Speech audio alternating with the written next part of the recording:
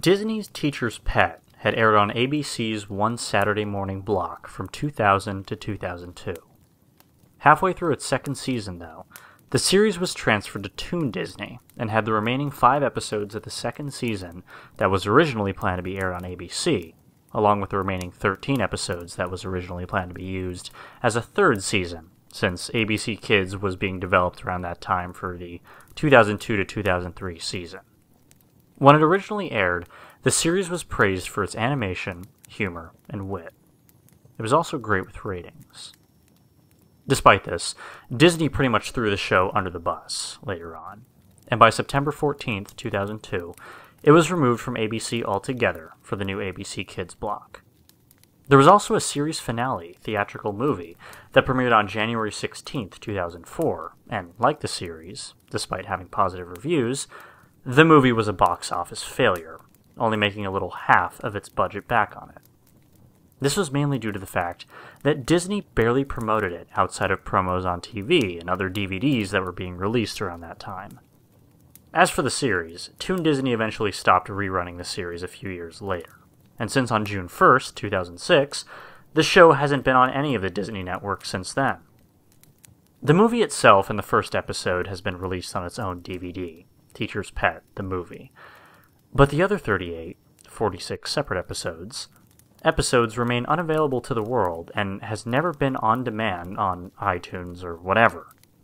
It wasn't until the late 2008 that on YouTube that people started to post up old original recordings from when the show had first aired on ABC and Toon Disney. Other episodes were eventually posted in early 2013 and on 4th, until Disney claimed copyright on all the episodes and had them taken off the internet. The good news is that episodes are available online through a special made Facebook page to host said episodes, and also recently they have been uploaded onto Dailymotion too. Uh, also, someone has taken all the season 1 episodes and placed onto a homemade DVD set for sale. But enough of that. Onto the pasta. The theory Disney's Teacher's Pet was an ABC Saturday morning show that was about a blue dog named Spot that dressed up as a fourth grade boy and went to school under the name of Scott Leadready II, along with his master and best friend Leonard. Now, many people would call this a stupid premise. Let's face it, even if you liked the series, how could no one tell that Scott had a dog's face? Or notice that his dog ears can be slightly seen when his beanie is on? But, actually, it was well written, witty, and very underrated. There were other characters like Pretty Boy and Mr. Jolly, Leonard's pet canary, and Cat who could talk also. Leslie, Leonard's love interest, and Mary Lou Helperman, otherwise known as Mrs. Helperman, who was Leonard's mother and teacher. There were also other characters in the school, and one notable character was Ian Wazselewski, a really gross and out there kind of student. I'm surprised that no one thinks of him as a special needs kind of kid. Well, anyway, let's stop to think for a second and wonder how in the hell can these animals talk like human beings and yet never reveal it to anyone else? It seems kind of odd that this is a well kept secret, since it would make communication with pets and humans much easier. I mean, have animals been able to communicate like this the whole time? Or maybe there is something else to this that we don't know about? Well, I think I may have the answer. You see, in the movie, it was revealed that Ivan Krank, you know, the wacko, was developing a machine that can change pets' DNA and make them human. It's also discovered that Ian is related to Ivan Krank, and he is happy with Ian since he is the only one who believes his inventions and intentions. Well, in a few scenes prior to Ian meeting up with his cousin, he lets Leonard and Scott, who is now human at this point, free without realizing that Ivan had placed them there for his intentions of proving that he's not a wacko. It's shown that, despite being gross and taboo, he's actually very intelligent when it comes to computers and hacking them. He afterwards hacks the computers to give the 21 flush salute to the Queen toilets in the UK. Gross.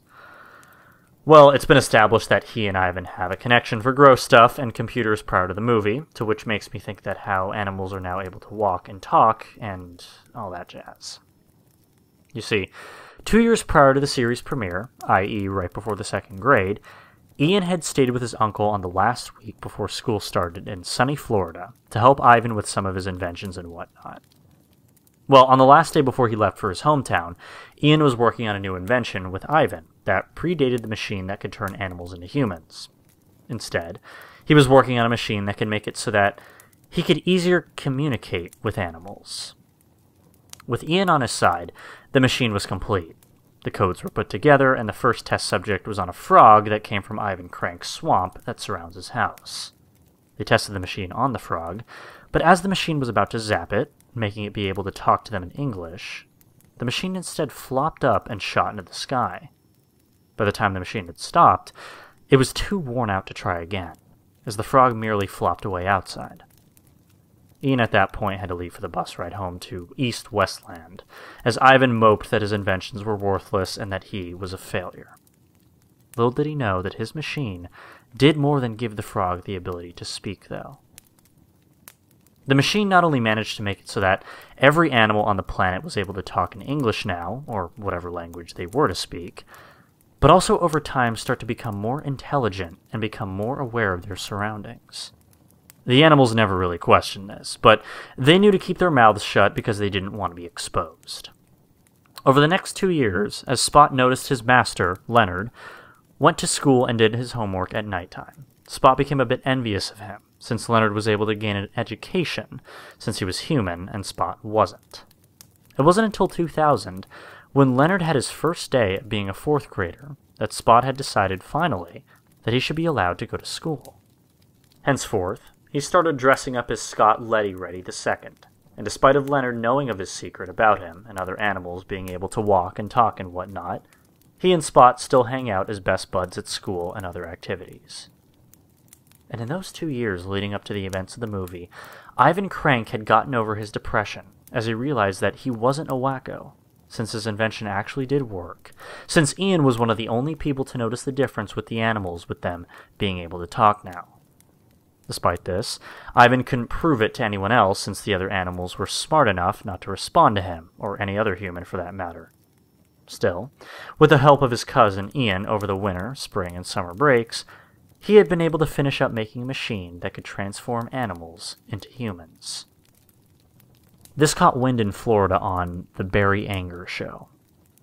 Though near the middle of June, as Barry Anger and the rest of the audience members, and presumably people watching it on their TVs at home, merely declared him as a wacko. But Ivan was persistent at finishing up his machine to prove that he was a genius and not a wacko. Before Spot appeared, though, he tried the experiment with an alligator and a fly, to which they're hybrids of both animal and human. Why, when Spot appeared to him as his dog self, that Ivan didn't merely ask him to reveal himself to the public as a walking, talking dog is anyone's guess. But for him to be able to turn Spot into a human being is the next best thing. Once you think about it, it does make legitimate sense. I mean, when Spot, after transforming into a human in the movie, thanks Ian for letting him and Leonard go, Ian seems to be somewhat aware that it's really Spot slash Scott as that human being. Also, before the events of the movie, in the episode One Dog's Junk, Spot's squeaky burger toy is sold at a yard sale, and it's later revealed to be bought by Ian. Throughout the day, Scott tries to get said toy back without revealing that it's important to him because, well, it's his dog toy.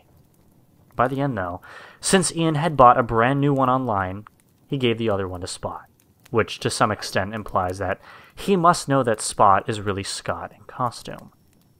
Not only that, in the episode Bad Fur Day, when Scott imagines what would happen if he went to school with his new hairstyle, he looked like a poodle.